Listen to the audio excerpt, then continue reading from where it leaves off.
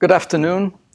Welcome back to the class on the fundamentals of the Christian faith, as these are understood from a certain historical Christian perspective. That perspective is um, encoded, if you will, in a document that is called the Heidelberg Catechism of 1563. That's the document that we have been following and have been using as our guide, if you will. I am cognizant of the fact that I have a potentially diverse audience, and I'm happy about that. I hope that folks from all sides imaginable uh, would take a moment to uh, review and look and follow and listen, and by God's Spirit and grace, be open so that all of us can say, when we're done with this class, the truth has set me free. Because that is the bottom line only the truth. And as Christians, we claim that there is such a thing as truth. And not just truth generally, but absolute. And we claim that the Word of God reveals absolute truth because the Word of God is God's Word and God Himself is absolute. There is nothing imaginable beyond God.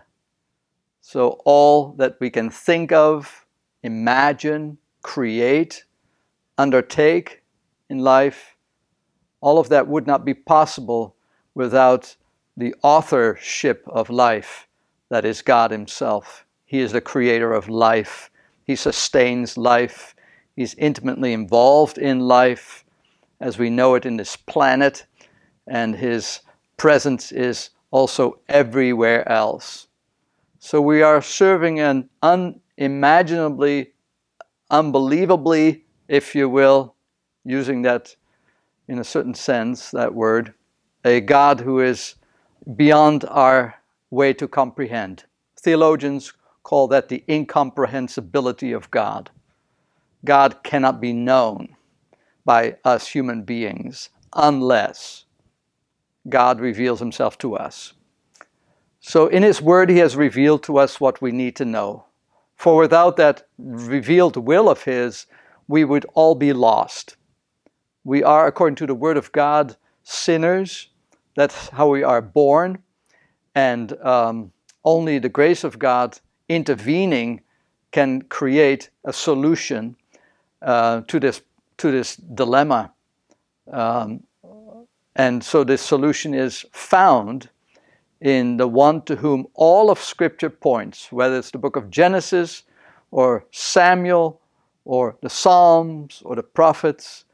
All these Old Testament writings point to the coming of the Lord in his Son Jesus Christ, revealed to us as the Savior and the Redeemer of sinners. So it's a wonderful class that we're looking at because it's basically a class that um, lays out for us the plan of God's marvelous redemption for us. The Heidelberg Catechism is a historical document, it's dated you can tell that the issues of that day are reflected in the answers, even the questions themselves uh, that we find in this document. I've mentioned at the beginning that there are 129 questions and answers that are divided over three parts. And we've dealt with the first two parts. The first part dealing with sin, our problem with sin, and the second part with God's solution to that problem, namely uh, the salvation that he offers in uh, Jesus Christ, the eternal Son of God, born in the flesh. And so God has made provision for our sin problem in the Son, Jesus Christ, whom He sent to this world and who laid down His life for us by His sacrifice through death on the cross. We have looked at the uh, discussion of the plan of redemption uh, via the Catechism's discussion of the Apostles' Creed. So we have ended that section that de- details the person of the Father, the Son, and the Holy Spirit. And then we have moved on to the doctrines regarding the church, that is specifically the sacraments. We have looked at the two sacraments that are uh, delineated, namely baptism and the Lord's Supper. And of the two of them, uh, we have concluded with the Catechism that these are instructions that are closely following Scripture, and that these uh, sacraments, as signs, divine signs and seals, which God Himself provides us with, uh, that they are used by the Christian in, in the ministry of the church to help us Christians remain strong in our faith.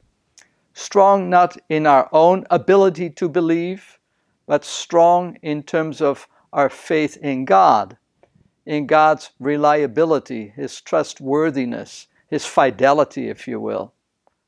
So the sacraments are visually portraying what the scriptures verbally display and teach.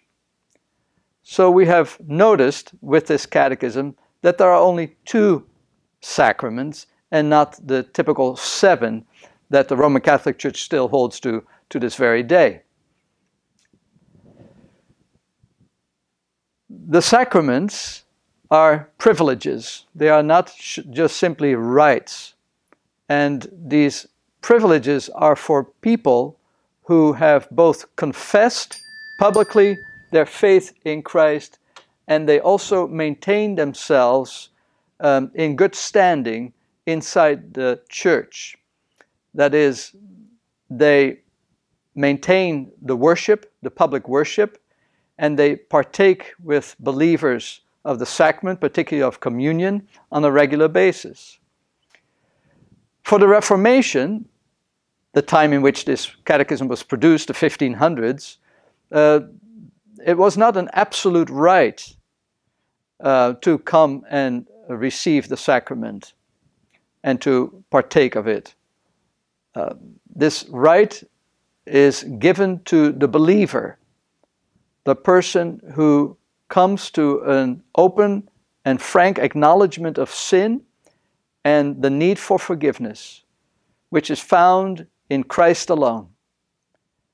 And so the reformers closely linked the sacraments with a other aspect that was emphasized, and that is church discipline. So in church discipline, Christ rules the believer through his church, if you will, the ministry of preaching and teaching, um, to cause the people of God to follow Jesus, putting it very plainly. Um, Jesus said, If you love me, you will keep my commandments. So the church oversees the use and the participation by God's people in the sacraments. In other words, it's not just for anybody and everybody who happens to stop by on a given uh, assembly on the Lord's Day to then partake of it. It is a privilege. Going from there, we are turning then to the last part today, uh, beginning, making a start today with the last part, and that is called the part of gratitude. I have it listed on the screen, and hopefully you can see that. Uh, part 3 Gratitude, Lord's Day 32. Question 86 asks Since we have been delivered from our misery by grace through Christ, without any merit of our own, why then should we do good works? And the answer it gives is as follows.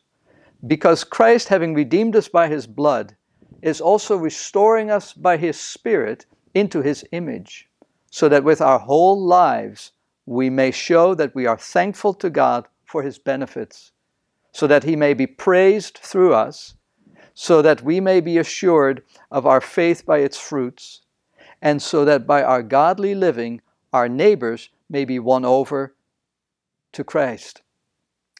What a beautiful answer! What a meaningful answer! It was a relevant answer, pertinent answer, because at that time it had to be decided what was to be a proper understanding of this topic of good works. The Protestants, having come out of the Roman Catholic Church and tradition, the Protestants, having committed themselves to a doctrine of salvation that was based on the premise that a sinner is reconciled with God through faith alone, and that alone part is suggesting exclusivity because, for example, in Ephesians 2, the Apostle Paul makes it plain that we are justified by faith alone and not by works. And that those who are justified, they prove their justification, they prove that they are children of God, that they have been born again by the Spirit of God, by doing good works. But notice, in that order.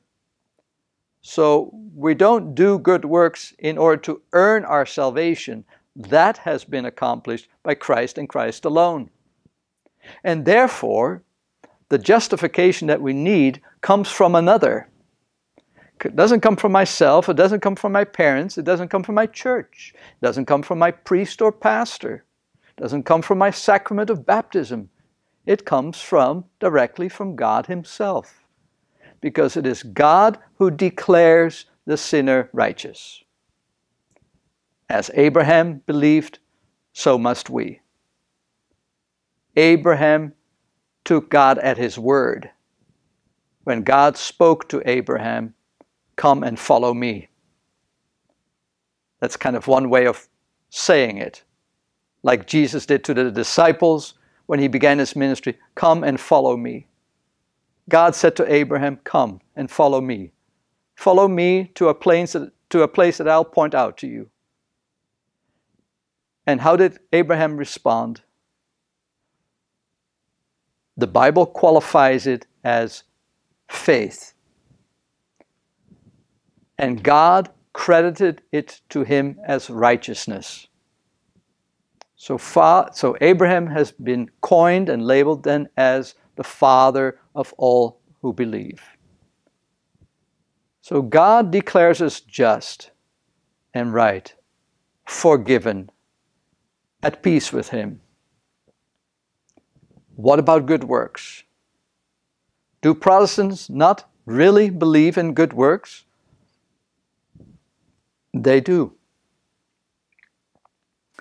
And that is why the Heidelberg Catechism placed the law, the law of God, as we know it through the Ten Commandments, called the Decalogue sometimes, which is simply a word that means ten words.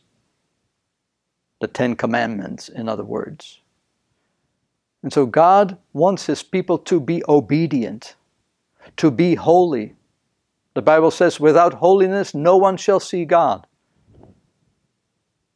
And so Protestants take holiness very seriously. And that's why the Ten Commandments are discussed in the third part that we're going to take a look at in just a moment. Before we look at the Ten Commandments as the rule by which Christians show God their gratitude for their salvation, the Catechism then asks um, this next question Can those be saved who do not turn to God from their ungrateful and unrepentant ways? By no means. This is the Reformed response. Scripture tells us that no unchaste person, no idolater, adulterer, thief, no covetous person, no drunkard, slanderer, robber, or the like will inherit the kingdom of God. And the scriptures are there to support it very plainly.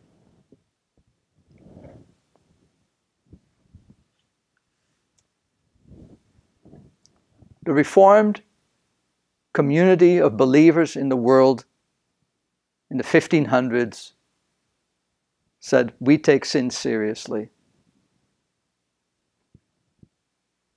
No person like that will inherit the kingdom of God. What then is involved in genuine repentance or conversion? two things the dying away of the old self and the rising to life of the new. Romans 6, 2 Corinthians 5, and Colossians um, 3, 5 through 10. Dying away to the old Adam in us, rising to life to the new Adam, Christ in us. So the Christian is involved in a lifelong process of repentance or conversion. We have a constant need of being reminded of our sins so that we are called to turn around and to walk away, run away, if necessary, from it. What is the dying away of the old self? Follow up question. To be genuinely sorry for sin and more and more to hate and run away from it. The Roman Catholic Church required also that those who came to the priest to receive um, absolution from their sins, that they would do so with uh, integrity, with, with sincerity. The Protestant um, formulation is likewise it has to be sincere. It cannot be just outward, ceremonial. We just go through the motions. And I think that at the time of the Reformation, this was one of the problems, perceived problems for sure, in the Catholic Church of the time. Ever since then, this has also plagued the Protestant Church that we go through the motions, that we sort of undermine our own faith in the faith alone, in Christ alone, when we have our own additions to faith alone, namely faith plus something else. Faith plus no drinking or smoking. Faith plus no makeup in certain evangelical traditions. Faith plus skirts only, dresses only for women, or wearing hats. Faith plus psalm singing only. Faith plus uh, homeschooling only. Christians have a way of adding to the plain, uncorrupted core truth that saves sinners faith in Christ, the Redeemer alone. When we add these other things by which we think that we make ourselves a little bit more clearly um, pure from the rest. That is a sad mistake. Sin must be hated, sin must be run away from, and the scriptures are there to support it. What is the rising to life of the new self? Excuse me. The rising to life of the new self, wholehearted joy in God through Christ, and a love and delight to live according to the will of God by doing every kind of good work.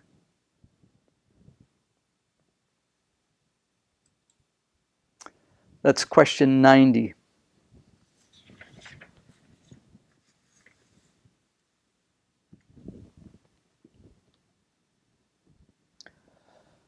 Wholehearted joy in God. Who had wholehearted joy in God at the time of the Reformation? So many demands, so many expectations were placed on the people of God. So many additions placed on the simple, plain requirements that are laid out in Scripture. That to have wholehearted joy in God was virtually impossible. Because joy in God became more like suffering a burden of expectations. That God blesses those who do good, who show by their activities, by their good works, that they love God. Wholehearted joy comes from knowing who I am in Christ, not from my good works. God loves me. God Himself has wholehearted joy in me because I am in Him, a new creation. And so, because of that relationship that God has forged sovereignly, we can wholeheartedly echo this answer and say that we have a wholehearted joy in God through Christ and a love and delight to live according to the will of God by doing every kind of good work. You see, the good work is necessary for us to be true Christians in this world. James says, without good works, a person's faith is dead. But to have a love and delight to live according to the will of God that can only come from a person who knows that he is free, that she is free, because we have a newfound freedom, as Paul says in the book of Galatians. That is a freedom that no one ought to take or rob from us, not even the church. It is a, it is a freedom that ought not to be compromised because it is a freedom that becomes ours by faith and by faith alone. Because it is centered on the person and work of Christ alone. And the work that He accomplished, He did it all by Himself. And so what He did is finished, redemption is accomplished, and through the sovereign working of the Holy Spirit, particularly inside the spiritual walls of church ministry that redemption accomplished is being applied through the regular work and ministry of the Word and the sacraments. What are good works? Only those which are done out of true faith, conform to God's law, and are done for God's glory and not those based on our own opinion or human tradition. Number of passages, again, are listed.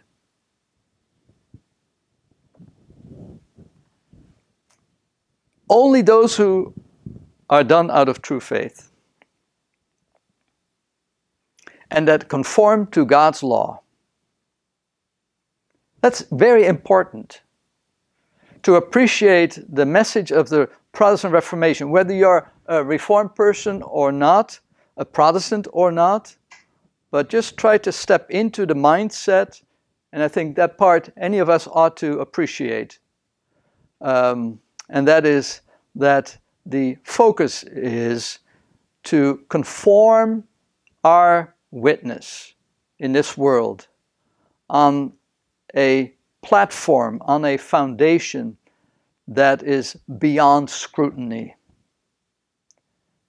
And so it's the Word of God alone, because it alone is beyond scrutiny. We cannot say that about the church. Church is a wonderful institution uh, in its organized form, uh, many blessings for us. But the church is essentially people, the body of Christ is first and foremost the assembly of believers before it has anything to say about ordination, ordained ministry. The Protestant Reformation emphasized the office of all believers. And the ministry for some of those believers in the area of being a pastor or an elder or a deacon um, is a particularization of that general office that is of all believers. And so good works have to be done in accordance with an infallible rule, a rule that cannot err, that cannot make mistakes. It is God's infallible rule, His word. And by that law is defined what is a good work and what is not. And that is important because um, it's not based on our own opinion or human tradition. A person might say, But I think this about that. I think it would be such a good thing um, to do this or that. For example, in the area of worship, wouldn't it be wonderful if we did this or that? Recently, I read a letter that my mother had written. She just passed away from the COVID 19 uh, virus back in the Netherlands. I read an old letter that was probably dated somewhere in the 90s, 1990s. And in that letter, she expresses the, the sigh of burden that one of her neighbors expressed to her, that her husband had expressed to her when they had gone to church on a given Sunday. It was a Sunday when a child was baptized. And so, in the part of that uh, baptismal service, the female uh, pastor had suggested that the congregation would join singing Happy Birthday. And the man afterwards expressed to his wife how he longed for a old-fashioned, typical reformed, plain, Christ-centered, I, I, I hope, service. There's nothing wrong with the song Happy Birthday. But Scripture doesn't demand or command that we use such worldly songs in worship. And so the Word of God has to direct us in what we do and don't do in worship, but in every area of our lives. So, good works are those that conform to God's law, and they are done for whose glory? Not yours or mine, not the church's, God's glory. One of the five solas of the Reformation, soli deo gloria. And then we have come to the Ten Commandments. The Ten Commandments, they are listed because the Christian is obligated to keep them. To keep them as a rule, as a law that God places before us, and we are accountable to it. We're held accountable to the law of God. Just because the Lord Jesus has come in the middle of the history of redemption um, doesn't mean that the law is no longer law, that the good law of the Old Testament has become a bad law, because we're no longer under law but under grace. The law has its function, and we typically refer to that as a rule of thankfulness or gratitude in the life of the Christian. Not the person who has to be redeemed yet, justified yet, but the person who has been justified, who, who believes, who's a confessing member of Christ's body. That person is called to obey the law of God out of a sense of gratitude, not to earn his or her salvation through that. What is God's law? And then it recites the Ten Commandments. And there they are. Um, I can read them, of course. The first commandment I am the Lord your God who brought you out of the land of Egypt, out of the house of slavery. You shall have no other gods before me.